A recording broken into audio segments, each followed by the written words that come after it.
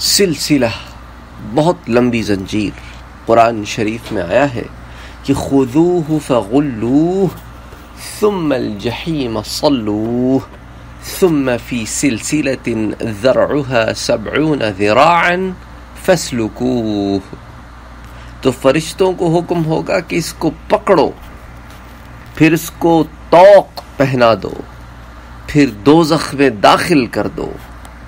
پھر ایسی زنجیر میں جکڑ دو جس کی لمبائی ستر گز ہے۔